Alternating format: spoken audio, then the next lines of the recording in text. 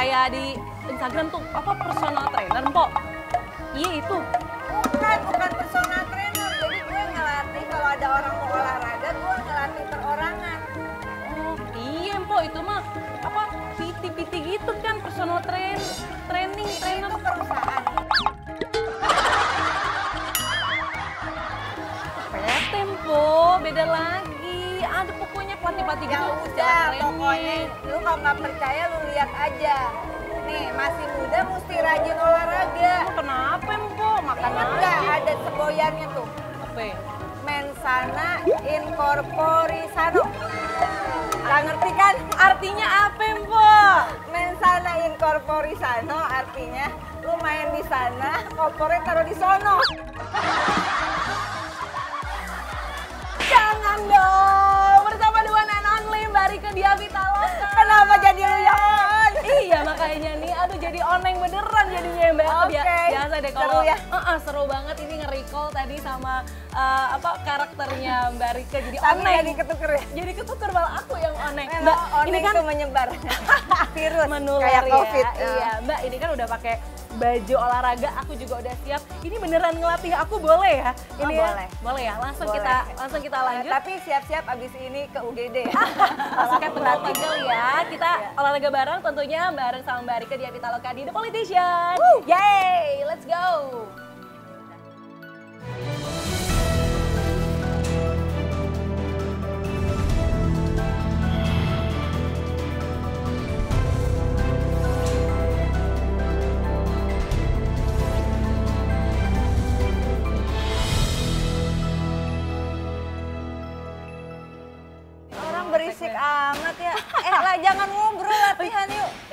Tapi aku takut. Aku soalnya kan olahraganya biasanya takut. olahraga mulut, olahraga makan. makan mulut. Itu juga olahraga. Ya kan? Aku tunggu tuh, duduk dulu. Aku mau ngajarin kamu gerakan deadlift namanya. Deadlift. Deadlift itu Beneran eh, meninggal nggak nanti nih, Mbak? Ya itu. Jangan dong.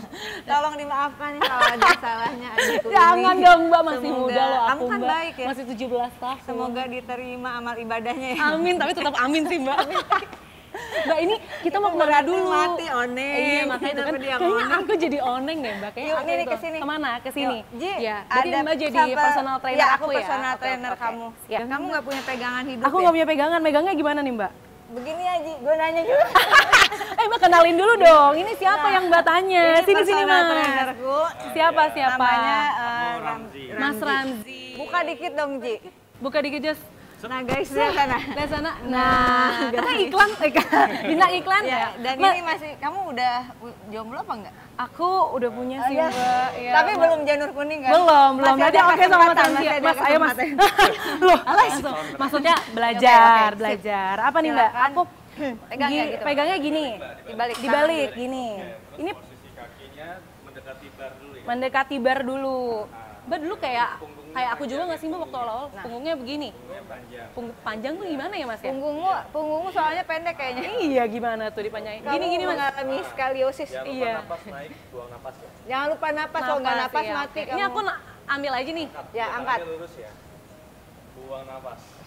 Tiup. Pintar, bagus. Turun pelan-pelan. Lagi nggak nih Mbak? Ya, coba Tiga eh, kali. 50 kali hari ini. Mbak jangan dong Mbak. Oke Yuk. ini. Tarik napas, tiup. Ini, Ya, Mbak. cakep. Cakep. Ini Mbak ngelakuin ini tiap hari nih Mbak? Ya, setiap hari kalau ada waktu Kayak gini. diusahakan. diusahakan. Oke, kayaknya udah cukup tiga aja ya Mbak. Heeh. Oke. Sekarang Mbak Rika ya. coba dong. Mbak Rika biasa berapa kali? Berapa kali Mbak? 12 kali. 12 kali. AMG. Titip, Neng. Sini, iya siap Mbak. 12 kali. Satu. Ini biasa olahraganya buat apa sih Mas Ramzi? Oh, ini buat bagian belakang ya. Bagian belakang. Wanita suka banget bokongnya lebih kenceng. Ah, benar. Biar udah STW, bokong jangan sampai turun. Ah. eh, tapi Mbak Rika tuh memang dari muda tuh olahraga ya Mbak ya? Ya, saya eh, dulu atlet, Atlet apa Mbak? atlet lari. Dulu lari eh, sprinter dulu. Oh oke, baru mulai nge-gym berapa tahun lalu? Sprinter Mbak? karena lagi kecilnya tuh suka nyolong mangga gitu. Jadi harus cepet lari. Mbak ini kan yang udah yang eh, berat-berat, yang ringan dong, kayak cewek-cewek itu treadmill gitu kan biasanya. Oh, treadmill boleh mau di sini apa di sana? di sini. Di sini ya sambil bisa lihat pemandangan di bawah gitu. Mbak, tapi Mbak Rika gimana sih kabarnya? Ini kan eh, belakangan aku lihat juga beberapa kali selain sibuk jadi politikus ya di DPR, kemudian juga eh, beberapa kali aktif teater, nulis dan lain sebagainya juga em, apa balik lagi nih ke eh, layar kaca. Ada beberapa kayak ikut acara-acara itu memang datang ke sana ini memang karena jelang tahun politik, sekalian kampanye kan biasa Enggak gitu sih, nih atau gimana? eh, memang saya selalu bilang saya tidak pernah bisa memisahkan antara seni dan politik. Mm-mm. Karena awal mula saya kan dari dunia seni. Mhm. Dan seni itu benar-benar ngedidik saya untuk bisa jadi politisi. Oh ya? Karena seni yang baik itu menurut saya Mhm. itu dia pakai empati, pakai perasaan. Mhm. Nah, politik juga membutuhkan seni. Tiga periode di DPR itu saya merasakan betul betapa pentingnya seni dalam dunia politik. Bukan untuk nyari strategi berkesenian ngibulin orang ya. Mhm, mhm, bukan itu ya? Bukan, tapi uh, bagaimana kita kemudian terjaga empati kita Mhm. supaya kita melihat kalau kita misalnya meranin karakter oneng ya Mhm. kalau saya nggak ada empati dengan orang dengan kehidupan seperti itu itu tidak mungkin ada penghayatan nah Oke. ketika membuat sebuah keputusan politik Mhm. atau menyusun pasal ayat itu kita juga jadi mikir Mhm. empati kita jadi bunyi gitu jangan sampai merumuskan kata demi kata yang namanya undang-undang itu nyusahin hidup rakyat. Itulah yang itu sebenarnya kenapa seni dan politik seharusnya tidak tidak dipisahkan. Oke. Politik butuh seni, tapi seni juga butuh politik. Kenapa seni butuh politik? Karena seni yang baik adalah seni yang bisa membangun kesadaran orang banyak. Jadi orang bukan hanya nikmatin, orang terhibur enggak. Dari situ seni itu seperti mimesis atau cermin bagi kehidupan sosial kayak gitu. Sehingga seni yang baik menurut saya juga adalah seni yang bisa membangunkan motivasi bersama gitu kan. Kayak orang misalnya nonton Bajai Bajuri Mhm. itu bukan hanya ketawa kan, tapi orang sebenarnya mikir gitu. Sebetulnya itu black comedy biasanya kayak gitu. Nah, politik juga kenapa seni butuh politik karena ketika kita berkesenian Mhm. kita akan sungguh-sungguh ketika itu memang kita sadari seni itu untuk orang banyak bukan buat diri sendiri Oke. Kayak gitu. Eh, jadi pada saat eh, Mbak menjalani multi peran ini, jadi politikus juga jadi kesenian Jadi itu berkepribadian ganda. enggak ya, multitasking ibaratnya. Itu kan salah satu Enggak keunggulan perempuan enggak, enggak bisa di, memang tidak bisa dipisahkan, Dipisahkan, dan hmm. agak susah karena saya saya main teater dari kecil. Mhm. Terus Sampai sekarang masih main teater nggak sih, Mbak? eh, kadang-kadang Kadang-kadang. karena Mhm. em, itu hidup saya nggak mau kehilangan jadi politisi terus kehilangan diri kita kayak melupakan akar kita itu Oke. itu sangat saya jaga Oh ya. ya karena saya bisa masuk ke politik karena saya sebelumnya di dunia seni Mhm. karena ada orang-orang yang mencintai karya saya dan karya seni itu bu- selalu bukan karya personal karya seni adalah karya kolektif Mhm. mau nyanyi mau event itu ngelukis Mhm. ngelukis misalnya ada orang yang buat kanvas ada orang yang buat cat air Mhm. ada orang yang jadi model atau kalaupun bukan orang pemandangan itu adalah sumber inspirasi dan sebagainya Oke. film apalagi film krunya berapa Mhm.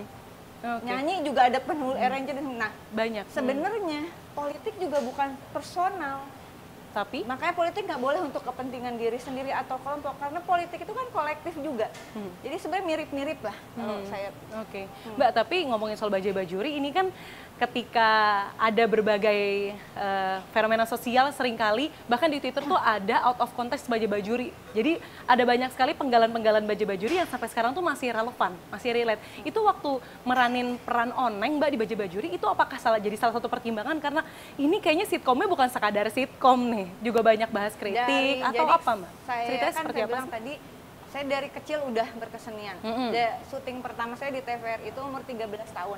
13 tahun, belia 13 sekali. tahun ya. Mhm. Dari mulai figuran yang lewat bawa baki dibayar 5000 perak gitu. Bawa baki ngapain mau jadi pelayan gitu mbak? Enggak di restoran cuman ada Oh. adegan nih ah, eh, ah. si peran utamanya lagi makan saya pacarnya. Oh mbak yang bawain. Aku cuman lewat doang. Lumayan. Lumayan, lima ribu, lima ribu pada saya itu lumayan nggak mbak? Lumayan, Eh, lumayan lah ya, ya, atau masih lumayan kecil? Hmm.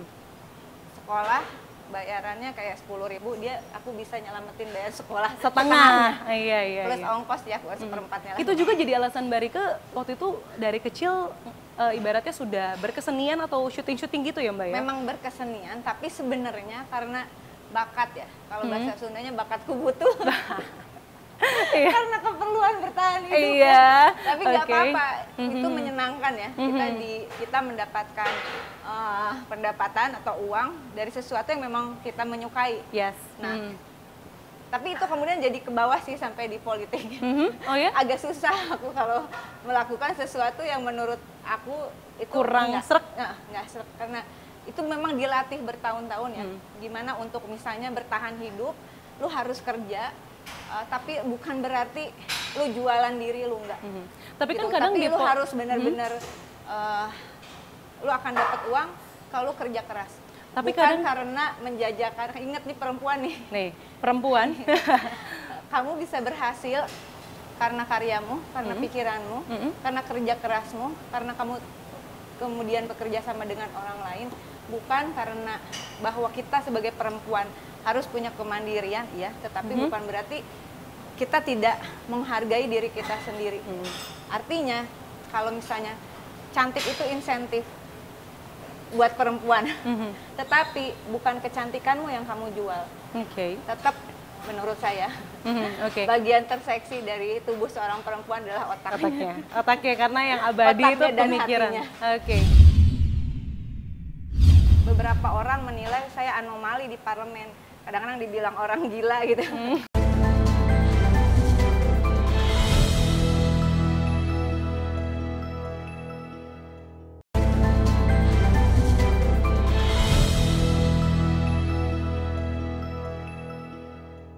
Mbak, tapi kan kadang kalau di politik itu sering kali eh, tidak sesuai dengan apa yang Mbak mau. Tapi Mbak tadi bilang kadang kalau nggak srek tuh jadi setengah hati gitu. Itu bagaimana Eh, nah, menghadapi itu kan hal-hal di- seperti itu? kenapa pentingnya tetap ya melatih kalau kayak kita mau memerankan sesuatu.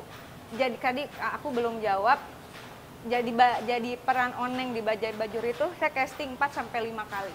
4 sampai 5 kali Dan baru saya dapat. selalu membiasakan diri tidak mengambil peran kalau saya tidak casting. Jadi uh, Oke. ap- belum tentu bukan karena uh, honornya kecil itu relatif lah Mhm. ya bahwa semakin lama semakin kamu punya karya, kamu kredibel, yang namanya honor itu pasti naik gitu. Mhm. Nah, tapi saya khawatir naskah itu tidak cocok sama saya atau Oke. saya tidak cocok untuk memerankan naskah itu. Jadi Dan casting buat butuh- Mbak itu untuk menelaah. Iya benar kayak Hmm. gitu. Nah eh, kemudian terus apa hubungannya dengan di politik? Di politik itulah yang kemudian menjadi kayak saringan buat kita. Mhm. Terus ah, saringannya apa gitu? Bahwa seneng nggak senengnya tuh bukan karena personal. Ah gue nggak mau ngerjain itu. Karena Nggak. nggak suka sama si ini gitu Nggak misalnya. bisa. Politik bukan like or dislike. Mhm. Politik is not uh, personal. Politik is public. Mhm. Ya, jadi public space. Jadi saringannya adalah ketika kita secara pribadi nggak seneng, tapi itu penting buat masyarakat, ya kita harus fight Hmm, gitu. oke. Nah, kenapa bisa memutuskan kayak gitu? Karena sebelum di politik juga itu udah sesuatu yang membutuhkan perhitungan yang cukup panjang. Mhm. Waktu saya memutuskan untuk menjadi parlemen member anggota DPR, itu bukan la- saya lagi nggak laku di dunia seni. Itu usia 35 ketika Lagi- eh, lumayan cukup eh, dikenal lah ya Hmm. karena memang peran Mbak di berbagi dan peran suami dan lain sebagainya. Peran Mhm. sine- saya ngambil selalu satu sinetron sampai selesai. Bajai Bajuri lima tahun kemudian disambung Salon Oneng. Ya itu satu saya nggak ngambil sinetron lainnya. Kadang-kadang untuk selingan ada beberapa episode lepasan, tapi saya fokus pada satu bidang Oke. gitu. Itu lima tahun, tujuh tahun. Di Good Morning lima tahun. Betul. Ditawarin presenter lain nggak? Karena saya harus saya merasa ketika orang memberikan kepercayaan untuk mengerjakan sesuatu, menurut saya eh, apalagi sampai dibayar, Mhm. Konsekuensinya adalah kita harus fokus dong. It's not fair kalau Mhm. orang sudah ngasih kepercayaan, apalagi kita dibayar, terus kita nggak ngerjain serius, pikiran bercabang-cabang. Oke. Sebenarnya gitu juga jadi wakil rakyat, bener nggak? Oke, benar. Nah, Udah dipilih, mhm. bukan cuma dipilih loh, abis dipilih dibayar, dapat gaji, dapat semua fasilitas, Mhm. terus kemudian kita nggak fokus nggak fokus pada persoalan masyarakat yang udah memilih kita. Karena itu udah dilatih sekian puluh tahun di dunia seni Mhm. jadi itu kebawa kebawa banget. Meskipun akhirnya beberapa orang menilai saya anomali di parlemen. Kadang-kadang dibilang orang gila gitu. Nggak apa-apa lah. Ada yang ngomong orang gila ya? Ada Mbak? ada. Dan Oke. orangnya sekarang di penjara.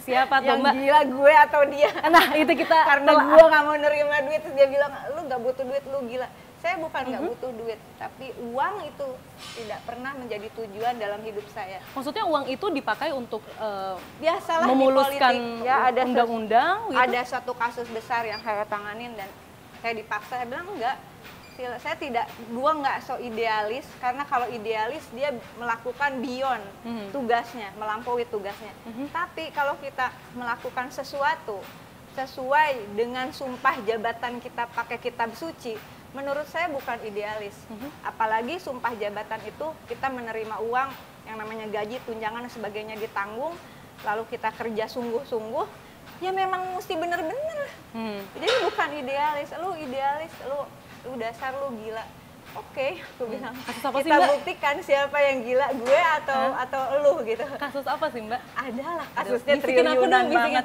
Triliunan, bisikin ini triliunan banget ya? tapi Nggak boleh ya? apa-apa nggak apa-apa Oke, saya selalu oke. yakin bahwa kebenaran itu pasti akan menunjukkan jalan Mhm, so oke. never give up guys. Never give. Oke, nah ini karena eh, Mbak Rika mau ajak aku ke dapil boleh ya Mbak ya? Ke dapil Mbak ada acara? ada, uh, Ada.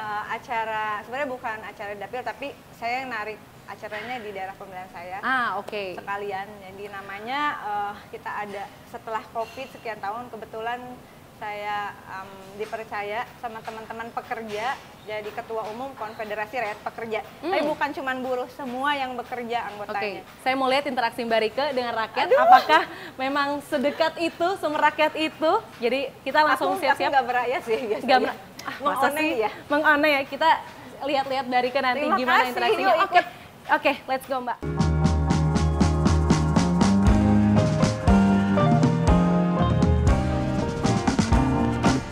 Ini sekarang mungkin boleh dijelasin nih kita mau ke mana? Ada acara apa sih hari ini? hari ini kita setelah covid cukup panjang kebetulan tadi hmm, saya bilang saya ketua umum konfederasi rakyat pekerja jadi ini organisasi yang anggotanya bukan hanya buruh pabrik tetapi semua pekerja di semua sektor Eh, ada pekerja BUMN ada eh, yang kerja di pemerintahan terutama yang berstatus kontrak honorer begitu. Kemudian ada eh, tenaga kesehatan tenaga pendidik ada nelayan juga gitu. Jadi hari ini konsolidasi pertama setelah eh, covid. Karena mereka kan orang-orang yang bekerja ya. Kalau kita kumpul-kumpul pada saat covid itu susah banget. Ini eh, rapat rapat akbar pertama tapi belum semuanya hadir. Karena ini baru eh, mulai lagi Ini memang Mbak dari dulu selalu lekat dengan isu-isu tenaga kerja, buruh. Memang punya concern sendiri Mbak? Eh, karena itu juga yang sebenarnya jadi alasan saya masuk DPR kan karena saya merasa bahwa persoalan masyarakat atau rakyat bekerja itu bukan hanya persoalan mereka bisa makan terus anak-anaknya bisa sekolah bukan hanya itu tapi ini soal keselamatan negara semakin banyak rakyatnya yang nganggur beban negara semakin berat dan negara akan semakin sulit untuk bisa survive. Jadi eh, saya tidak pernah memisahkan oh ini urusan buruh ini urusan negara. Enggak urusan ini sesuatu yang saling terkait. Saya selalu berprinsip eh, jadi bukan hanya buruh ya karena secara sosiologis juga apa ya keberangkatan gerakan katakanlah gerakan buruh Indonesia itu tidak bisa disamakan dengan gerakan negara lain karena mereka basisnya misalnya kalau berangkat dari sejarahnya di Jerman mereka adalah negara industri gitu. Sementara kita pun eh, kalaupun mulai bergerak menjadi negara industri itu dengan latar belakang yang berbeda nggak bisa disamakan. Sehingga saya lebih concern kepada semua pekerja di sektor apa pun ya. Jadi eh, oleh karena itu saya selalu mengatakan tidak ada pekerja yang bisa kuat tanpa negara yang kuat tidak ada negara yang kuat tanpa pekerja yang kuat karena kalaupun kita berbicara soal penghasilan dan saat ini eh, kas negara itu mostly eh, didapat dari pajak ya dan pajak itu dibayarkan oleh orang-orang yang bekerja. Jadi kita lagi berusaha banget ada beberapa isu penting karena orang mengatakan 2023 akan gelap dan sebagainya. Uh, ya silakan saja yang mau memprediksi seperti itu. Tapi karena saya sebagai seorang pemimpin dalam organisasi ini, saya harus bertemu dengan mereka, saya harus meyakinkan mereka karena omongan-omongan seperti itu ternyata pengaruh loh terhadap psikologis masyarakat. Mereka ketakutan ini akan terjadi apa-apa.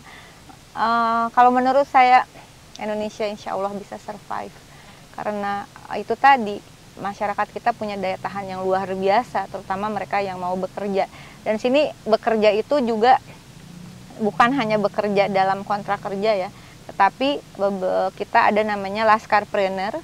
Jadi dalam organisasi ini ada laskar juang, intinya salah satunya yaitu mereka yang mengadvokasi uh, apa masyarakat yang membutuhkan pertolongan medis gitu kita ada dokter ada bidan di dalamnya krisis ekonomi Indonesia sejauh sepengetahuan saya dari krisis 98 lalu 2000 dan yang ter, uh, terakhir Covid uh, saya harus jujur meskipun saya di DPR saya terima kasih kepada masyarakat Indonesia. Kalaupun sampai hari ini kita survive sebetulnya bukan karena bagus-bagus amat strategi ekonominya enggak. Enggak, itu dibuktikan dari beberapa kali krisis ekonomi seperti saya bilang karena kita berpijak atau ditopang negara ini oleh sektor uh, ekonomi kerakyatan yang disebut dengan biasanya UMKM. Jadi mereka luar biasa sekali.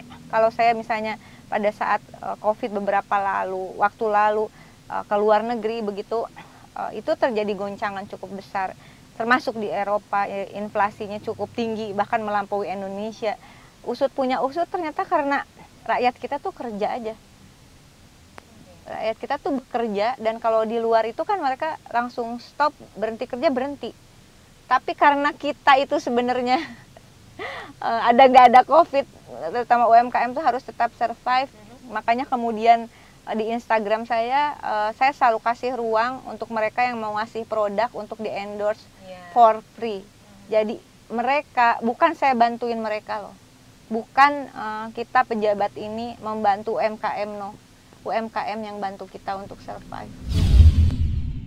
Karena perjuangan itu bukan hanya untuk diri kita, apalagi kalau menyangkut kebijakan negara. Hmm.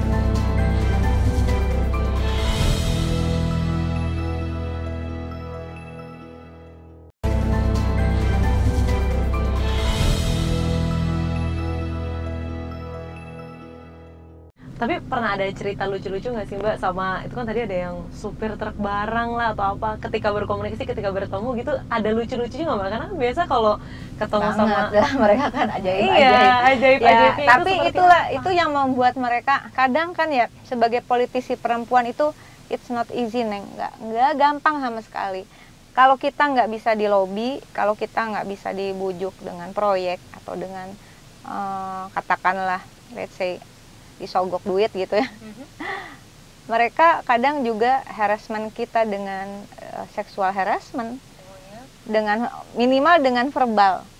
Dengan makanya kenapa uh, saya fight banget untuk seorang Baik Nurit Nuril, untuk seorang Valencia uh, dan khususnya kasus Baik Nuril ya, bagaimana ya? mengalami uh, pelecehan uh, seksual dan uh, diomongin yang cabul-cabul kayak gitu you know what? Itu tuh itu kalau mereka boleh sambil ketawa-tawa gitu oke. Okay. lu nggak tahu ya kita yang menerima uh, perlakuan seperti itu tuh itu sakit banget. Setiap pulang itu uh, awalnya ya awalnya saya pulang tuh saya pulang nangis ngeliat anak-anak saya masih kecil. I'm single mom. Terus kemudian di tempat kerja ngalamin hal-hal seperti itu gitu. Saya bukan merasa diri saya suci enggak. Tapi nggak ada seorang pun yang boleh melakukan hal seperti itu kepada perempuan mana pun. Bisa dibayangin nggak kalau ada perempuan lu ngalamin gitu anak perempuan lu mengalami seperti itu emak lu ngalamin seperti itu itu menyakitkan juga buat anak-anak ya. Jadi nah ada hal-hal itu termasuk uh, ada fase di mana saya harus berdamai dalam tanda kutip untuk menerima perlakuan-perlakuan seperti itu karena kalau kita protes lalu kita bersuara makin sulit gerakan politik kita makin sulit apa yang kita perjuangkan. Mereka bilang, lu mau mau merjuangin apa? Uh, lu mau perjuangan undang-undang ini misalnya kayak gitu. Mereka bilang, di sini nggak ada yang nggak, di sini nggak bisa pakai ludah. itu diomongin. Oh iya mbak. Itu diomongin. Ampun ya, maksudnya dan uh, sebenarnya lu juga nggak bisa pukul rata semua orang. Ya bahwa prinsip mungkin bisa saya nggak pernah ganggu prinsip orang berpolitik. Saya seperti saya selalu bilang gue bukan orang suci. Enggak. Saya hanya ingin menjalankan sumpah jabatan saya.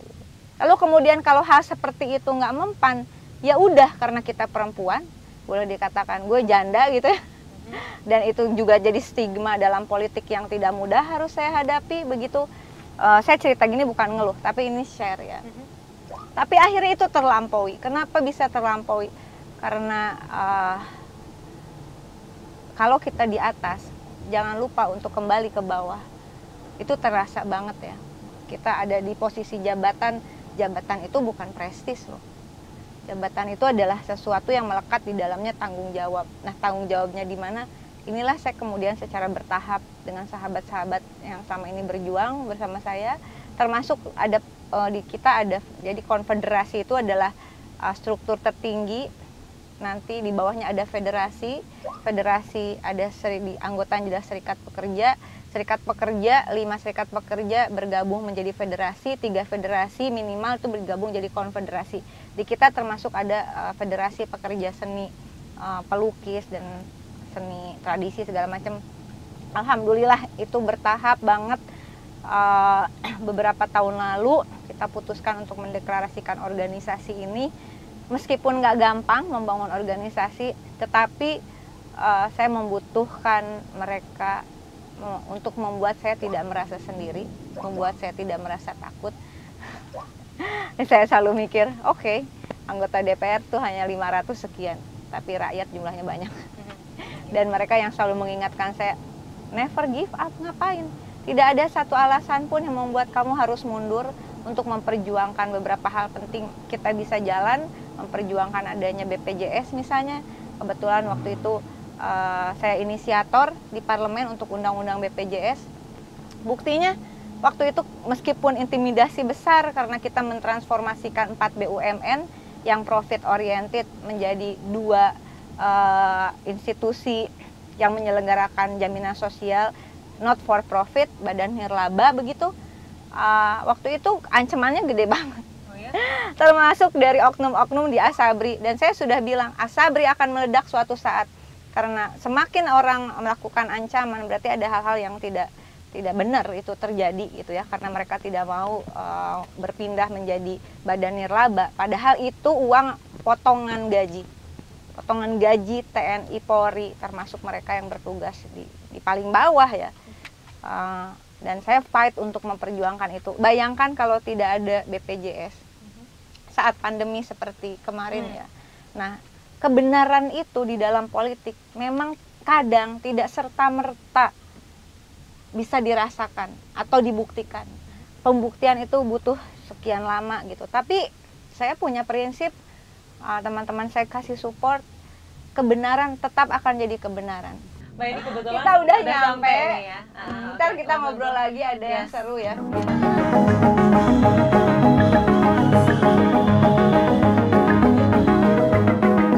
Turunnya beliau eh, bisa memberikan perhatian-perhatian. Jadi apa aspirasi masyarakat yang khususnya pekerja di Kabupaten Bekasi ini tersampaikan kepada pemerintahan kita.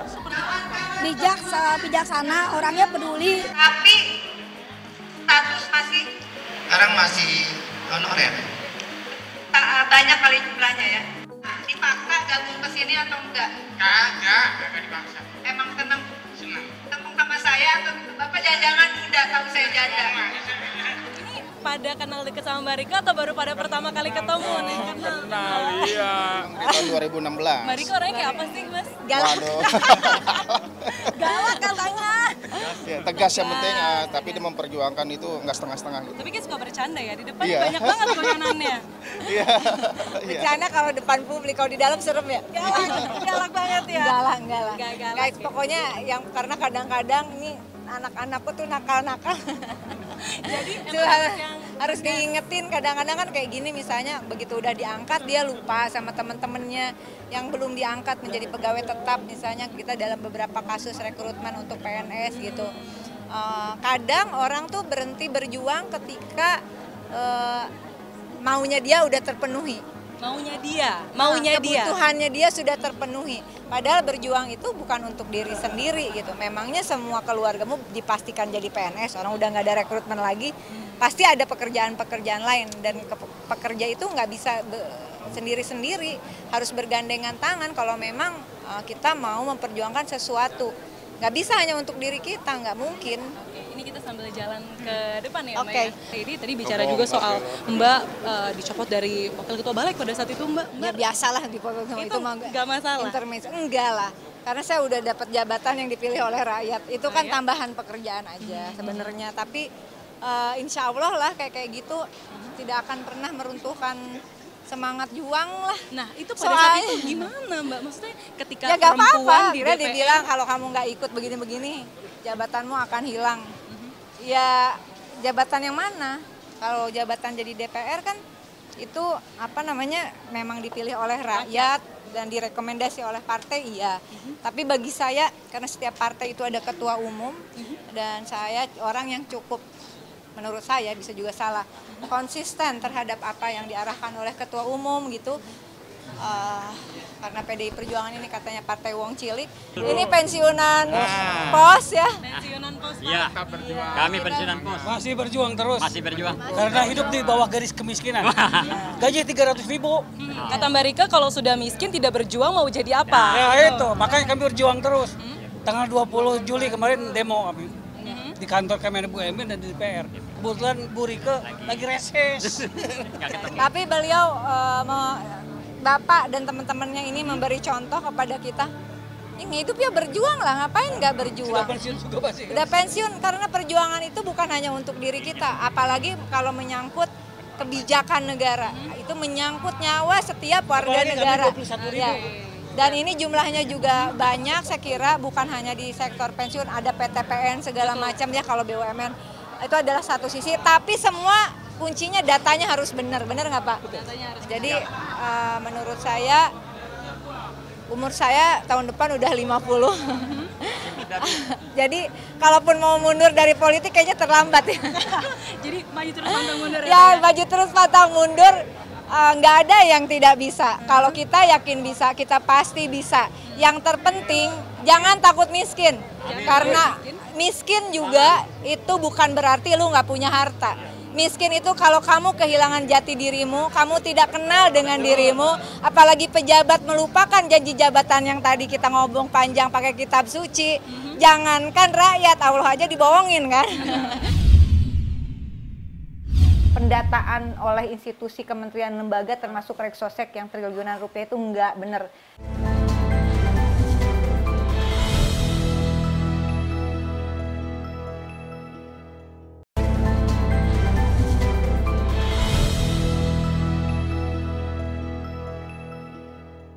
Mbak, ini ngelihat yang di depan kayak udah agak ngiler ya. ini sesundaan ya, teh kita. Sambil ngobrol yuk.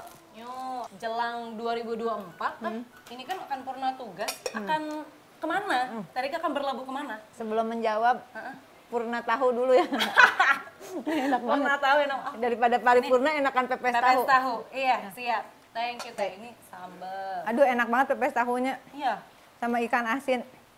Saya ya. pileg lagi rencana. Pilek lagi. Hmm. Dapilnya sama? Eh. Sama Karawang, Bekasi, Purwakarta, Jabar 7. Ah, tapi apa yang mau Teteh bawa? Ini udah tiga kali di DPR. Apakah memang akan ada hal-hal baru yang memang belum tercapai di periode Banget, ini? banyak. Jadi Masa? Terutama soal data dasar itu, Neng. Oke. Karena itu kan kayaknya Aku sambil ambil ya, Teh. Iya silahkan kalau nggak malu. Nah, eh, cek sound. Cus. nah, Soal data. mm, soal data. Karena data tuh semua program negara pasti pakai data lah. Hmm. Satu sen pun uang negara itu harus mengacu ada datanya dong. Hmm. Nah, data itu bukan hanya data penduduk, tapi juga kita basisnya kan pakai ini lima peta dasar. Ada peta infrastruktur, peta land use, penggunaan lahan dan sebagainya. Kemudian itu kita integrate dengan data numerik yang mendata melibatkan warga desa dan kelurahan. Jadi datanya lebih eh, bisa dikatakan lebih real lah. Karena yang mendata warga desa sendiri, cuman nggak sendiri. Kita kerjasama didampingi oleh perguruan tinggi. Jadi kolaborasi antara pemerintahan, kemudian perguruan tinggi, badan riset negara, eh, beberapa kementerian, khususnya Kementerian Dalam Negeri, dan saya berharap juga Kementerian Desa tentu saja, dan nanti itu juga Bapenas juga harus terlibat. Jadi ini tidak lagi ego sektoral. Pak Jokowi sangat menginginkan kita memiliki satu data Indonesia udah ada perpresnya, tapi mungkin metodologinya harus kita perbaiki gitu dan karena perpresnya sekitar 2019 sampai sekarang nggak kelar-kelar satu data Indonesianya. Padahal anggaran pendataan itu besar sekali. Saya ambil contoh sensus itu sekitar 4 triliun 2020. Tapi begitu mau dipakai untuk vaksin eh, yang dipakai karena kalau ada kenapa nggak pakai data sensus dong? Dia dilansir 2021 sehari setelah lansir data B- sensus BPS kemudian melansir rencana untuk vaksin, kenapa nggak pakai data sensus? Dia pakainya DPT karena data sensusnya eh, waktu itu kurang baik ya 4 triliun. Habis itu sekarang ada Regsosek sekitar 4 sampai 11 triliun. Tapi whatever lah, eh, saya berharap ini bukan persoalan ego sektoral. Kalau ada kalau ada pembuktian terbalik aja kalau enggak ya. Kalau ada kemudian persoalan ini dikaitkan dengan akan hilangnya beberapa anggaran pendataan, sekira itu tidak signifikan untuk kehidupan kita. Ya silahkanlah diatur ya. Yang karena menurut saya persoalan yang substansialnya adalah sudah saatnya satu data Indonesia yang dicita-citakan oleh Pak Jokowi dan kalau saya tentu saja itu memang eh, salah satu concern dan perjuangan Bu Mega sekian tahun gitu kita kalau ketemu selalu berdiskusi pentingnya data negara itu harus harus benar. Apalagi geopolitik seperti sekarang proxy war perang dagang lu pakai apa kalau nggak pakai data yang benar? Ya jangan mengatakan bahwa orang lain udah punya data. Bagaimana security datanya? Datanya dulu ada dan itu pun harus masuk ke dalam suatu peraturan perundang-undangan. Makanya kalau ditanya sekarang lagi ngapain? Kenapa kayak ngilang? Aku nggak ngilang Nah, tapi kendalanya Teteh melihat apa nih yang sesusah, kenapa sesusah itu? Apakah karena tadi? nggak tahu itu harus nanya ke mungkin terutama ke besar. ya ke istana. Kenapa? Kenapa susah? Rektor juga rektor IPB sebagai mewakili pihak kampus sudah bertemu dengan pihak istana. Tapi memang barang ini belum nyampe infonya ke Pak Jokowi. Tapi nggak apa-apa lah. Kita eh, nggak mau menyerah juga. Minimal pada akhirnya kalau eh, kemudian di era pemerintahan Jokowi ini sudah ada perpres tentang satu data Indonesia, tapi perpres satu data Indonesia itu nggak ada datanya dari 2019, sementara anggaran untuk pendataan itu setiap tahun dianggarkan, misalnya di Kementerian Koperasi untuk UMKM aja 200 miliar. Minimal anggaran setahunnya 2023 mendingan gue kasihin ke UMKM lah duit 200 miliar daripada buat ngedata doang gitu kan? Hmm, kemudian datanya juga Nah, tidak ya silahkanlah dinilai sendiri. Tapi terserah kita juga suka sudah mengatakan nih jejaring kampus seluruh Indonesia, kami data desa kelurahan presisi ini bukan untuk menjegal pendataan oleh institusi kementerian lembaga termasuk Reksosek yang triliunan rupiah itu enggak benar. Eh, kita hanya menawarkan suatu solusi agar ada data dasar negara yang benar-benar real yang benar-benar aktual, faktual, signifikan yang tadi saya sampaikan gitu. Tapi kalaupun ini tidak terjadi, karena itu harus berbentuk peraturan perundang-undangan, karena ini negara hukum, semua diatur dengan hukum. Ini restat bukan mastat. Lu punya kekuasaan, kekuasaan lu harus berdasarkan hukum. Ya oleh karena itu masalah pendataan data itu bersumber dari pendataan. Pendataan itu bisa terjadi kalau ada norma hukumnya. Nah itu disertasiku tentang itu. Nah Terus eh, norma hukumnya belum ada. Tapi kami nggak mau berkecil hati, jadi dari mulai pemerintahan desa, jejaring kita DPRD kabupaten dan kota, pemerintahan daerah, eh, semualah kayak tadi ya, semua teman-teman kalaupun sampai pada masa pemerintahan Presiden Joko Widodo yang sebenarnya presidennya mau ada satu data Indonesia yang benar, tetapi kemudian kami bukan nggak tahu loh di sekitar Pak Jokowi ada yang nggak mau data benar. Hmm, emang iya mbak? Tahu lah kita ya, kalau enggak silahkan pembuktian terbalik dan silahkan ditelusuri tanya ke KPK soal tadi indikasi 52 juta penerima bansos, Bansos, itu fiktif, BLT. kerugian kurang lebih 126 triliun. Itu ada loh di medianya, KPK menyatakan melansir resmi ya. Nah, kemudian soal subsidi BBM yang sebesar itu, tapi orang nggak dapat, banyak yang pihak nggak dapat. Kalau dilihat dari apa yang, kenapa saya kemudian akhirnya main di medsos menyuarakan hal seperti ini, karena jujur li, jujur li, bahasa anak jujur li, banyak banget yang nggak mau lah pasti. Ini soal lapak data dan anggaran negara ribuan triliun itu kan didrive oleh data negara. Nah, mana data yang dipakai? Gede loh subsidi dan segala macam dan infrastruktur semua lah ya. Nggak ada yang nggak pakai data. Dan hari gini di era digital IoT lu nggak pakai data, mau pakai apa? Jadi kalaupun eh, tentu saja saya masih berharap Menteri Bapenas masih mau berkomunikasi. Alhamdulillah deputi-deputi Kementerian Dalam Negeri, Kementerian Desa dan beberapa teman di kementerian lain kita membangun namanya jejaring kolektif. Ya, saya percaya setiap orang ada sisi baiknya dan saya selalu berusaha mengingatkan kalau kita nggak tahu kita nggak salah.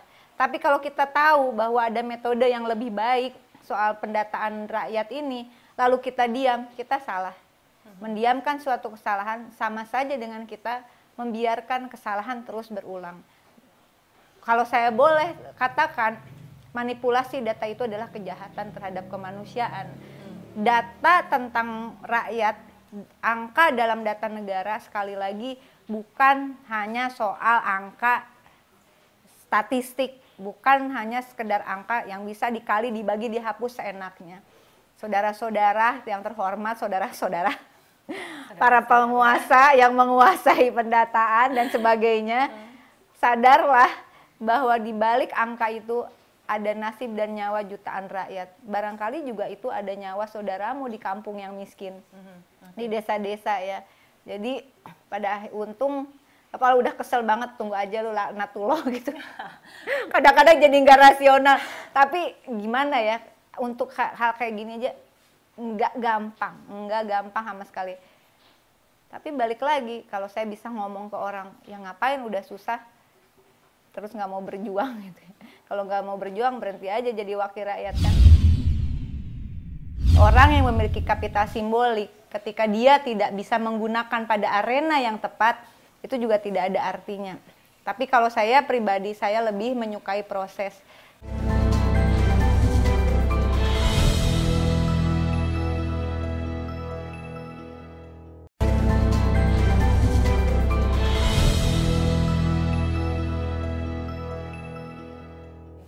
Tapi kalau bicara soal data, Teteh bilang tadi harus presisi gitu. Tapi Teteh ngelaporin nggak data-data yang perlu Teteh kasih ke konstituen gitu? Kayak misalnya laporan kekayaan atau kayak Ya lapor lah itu kan di iniin apa kan harus dilaporin semua. Jadi kayak gitu kan bisa dicek lah kegiatan kayak gini juga Di medsos bisa ya Teh? bisa makanya dan sekali lagi bahwa DPR RI itu dapat tunjangan, oke, dapat tunjangan, dapat gaji besar, menurut saya sih besar, nggak tahu menurut orang lain. Tapi yang ha- harus lebih menjadi perhatian di samping tunjangan-tunjangan itu adalah polisi apa yang dengan tunjangan sebesar itu yang sudah diputuskan oleh seorang wakil rakyat. Jadi jangan hanya disorot. Saya sih seneng kalau ada yang ngingetin kayak gitu. Jangan hanya disorot, lu tunjangannya sekian jumlahnya, enggak dibalik dong.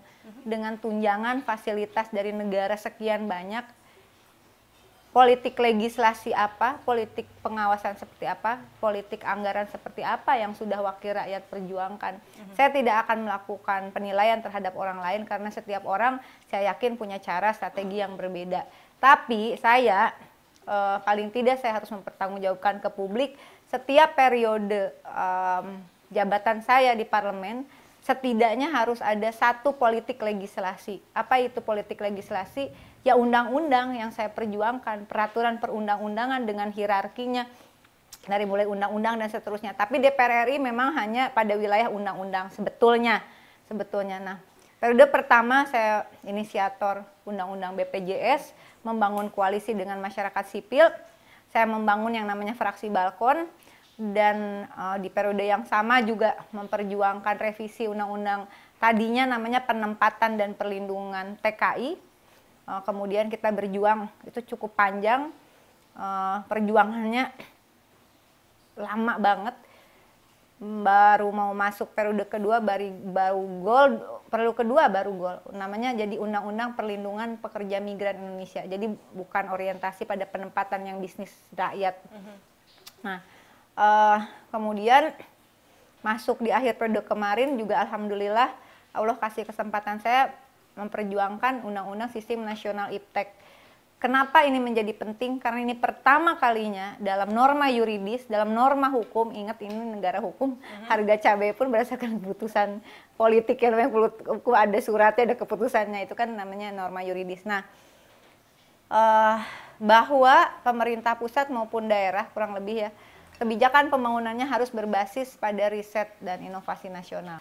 Sehingga pola pembangunan yang sedang disusun uh, pertama kalinya kita punya dasar hukum untuk uh, payung hukum, pijakan hukum, science based policy atau disebut dengan evidence based policy, kebijakan pembangunan berbasis pada ilmu pengetahuan dan teknologi. Nah, ini direvisi undang-undang tentang IPTEK ini. Namanya Undang-Undang 11 tahun 2019 tentang Sistem Nasional Ilmu Pengetahuan dan Teknologi bahwa kebijakan pembangunan harus berdasarkan hasil riset ilmu pengetahuan dan teknologi yang berpedoman pada haluan ideologi Pancasila. Uh, visi misi NKRI sudah seharusnya menjadi visi misi seluruh elemen bangsa, terutama mereka yang mau majap, maju pada kontestasi pemilu dan pileg dan Pildes, pemilihan kepala desa.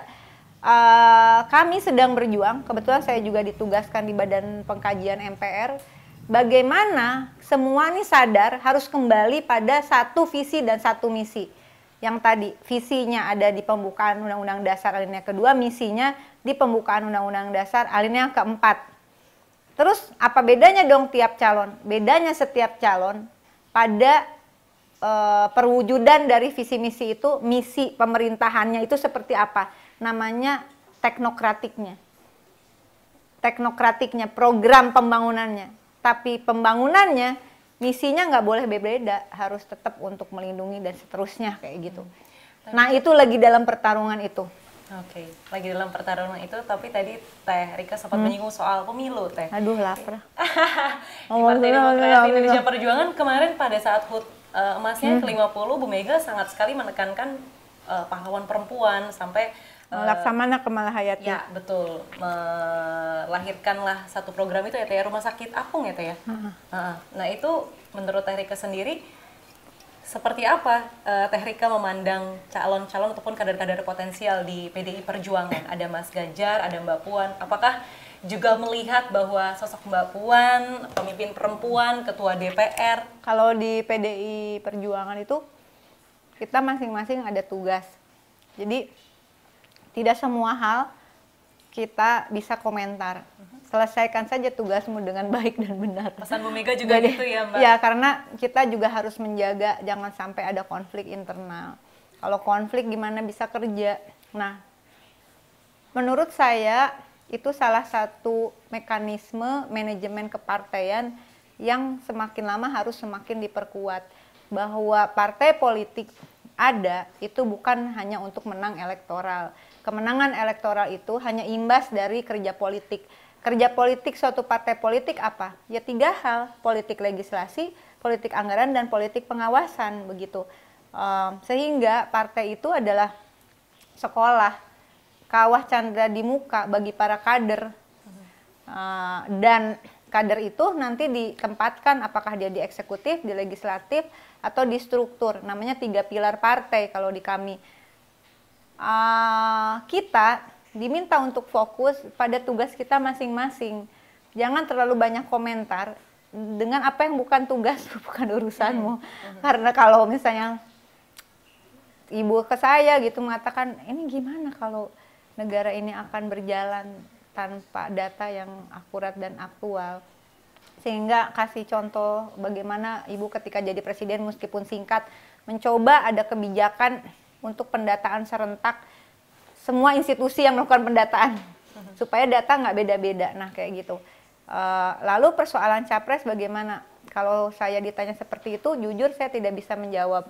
Karena itu bukan otoritas saya bukan wewenang saya tetapi bagaimana supaya pemilu ini memiliki DPT yang baik nah itu yang sedang saya perjuangkan Mbak Rika ini perjalanan panjang dari eh, seniman, kemudian politikus, seorang ibu. Apa yang sering Mbak Rika ingin tularkan kepada anak-anak ataupun perempuan ketika Mbak bertemu di dapil atau mungkin bertemu secara langsung di masyarakat? Apa yang ingin Mbak tularkan lewat perjalanan panjang Mbak Rika? Hmm, saya kalaupun sekarang punya karir politik seperti ini, catatan pentingnya bukan lahir dari karpet merah. Saya merangkak untuk berada di dunia entertain dan juga masuk ke politik, benar-benar saya merangkak. Tiga periode di PDI Perjuangan, ah, selain DPR RI, saya tidak punya jabatan di fraksi maupun di eh, partai. Nah, tapi kan orientasi berpolitik bukan dapat jabatan sebetulnya. Polisi apa, intervensi pol, kebijakan apa yang sudah berhasil kita lakukan. Jadi untuk eh, kalau ada perempuan yang mau jadi politisi, saya seneng banget, saya siap untuk diskus. Jangan gampang menyerah, karena saya yakin setiap persoalan pasti ada solusinya. Hmm, jadi tidak ada eh, untuk melahirkan seorang politisi, untuk melahirkan seseorang dengan dengan karir yang luar biasa, lalu dia ada dalam posisi tertentu, itu butuh proses, tidak bisa instan. Bukan hanya karena faktor keturunan. Kalau di filsafat itu namanya kapital simbolik ada, iya. Tetapi orang yang memiliki kapital simbolik, ketika dia tidak bisa menggunakan pada arena yang tepat, itu juga tidak ada artinya. Tapi kalau saya pribadi, saya lebih menyukai proses.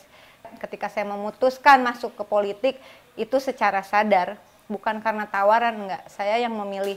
Waktu itu saya memilih PKB, PKB. eh, karena cukup ada kedekatan dengan Kiai Haji Abdurrahman Wahid yang membimbing saya, ini penting bahwa politik itu harus berwajah dan berhati kemanusiaan. Politik kemanusiaan itu pelajaran pertama yang saya eh, dapat dari Gus Dur. Lalu karena Gus Dur sakit, almarhum eh, meminta saya untuk pindah ke PDI Perjuangan untuk ikut Bu Mega pesannya, ikut Bu Mega. Dan ternyata kemudian guru politik saya yang kedua adalah Ibu Megawati mengajarkan sebagai seorang perempuan jangan minder karena konstitusi kita tidak membedakan rakyat yang laki-laki dan perempuan Uh, bahwa itu lebih sulit bagi perempuan iya karena ada konstruksi sosial dan budaya yang mengakibatkan seperti sep- ada barrier bagi perempuan. Tapi sebenarnya kita fight aja gitu kalau kata ibu. Berpeganglah pada rakyat dan kerjakan apa yang penting buat rakyat.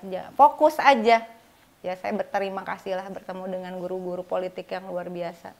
Tapi guru politik yang terpenting adalah rakyat kayak tadi itu Guru politik yang terpenting adalah rakyat. yang tidak pernah membiarkan saya menyerah Hmm, selalu diberikan semangat, Mm, suntikan kasih doa mereka kasih doa ke saya Oke.